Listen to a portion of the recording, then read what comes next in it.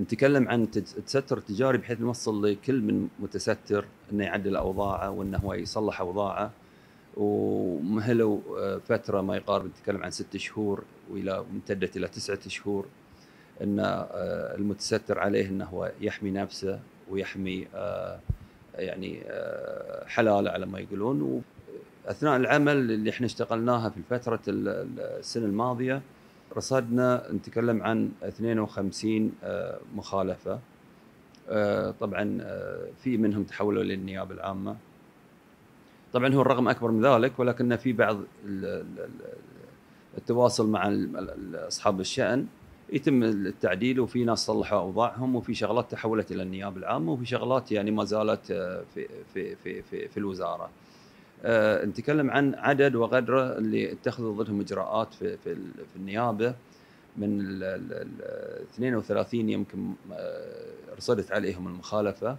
أه في من تبرأ اللي هو عدل وضعه وفي من اللي تم مخالفته. يمكن نتكلم عن أعداد نتكلم فوق السبعه أشخاص طبعا تخالفوا وخذوا مخالفاتهم جزاءاتهم وفي نتكلم عن يمكن عدد وغدر 22 إلى 23 ما زالت في اروقه المحاكم، حقيقة العقاب اللي اللي قد يمس المتستر متعب بالنسبة له وما يحس بمعاناته إلا لما ينوضع في هذا الوضع.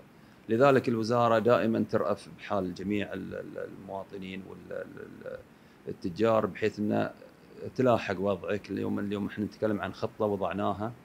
السنة هذه راح تتغير الخطة راح تكون ندش في الحسابات ندش في في عده خطط عندنا إياها تكشف حتى يعني من دون لا نتحرك إحنا من الوزارة. وراح يتم استدعاء العديد من المتسترين. وعندنا أرقام وعندنا محلات نعرفها إن هي يعني عليها شبهة. و للحين إحنا ما زلنا نعطيهم المهل إنهم يعدلون أوضاعهم.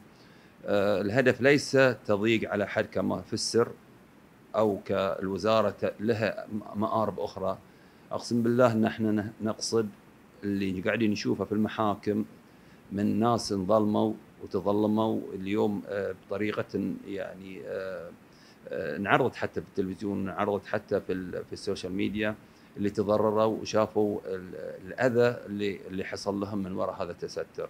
اليوم انت تحصل لك 70 100 دينار 150 دينار ومأجر سجلك على عامل ما بيفيدك باكر لين صار صرت امام مئات الالوف من الدنانير اللي انت ملزم فيها وإذا ما عندك عندك السجن يعني بيدفعون الثمن عائلتك وتدفع الثمن انت كشخص.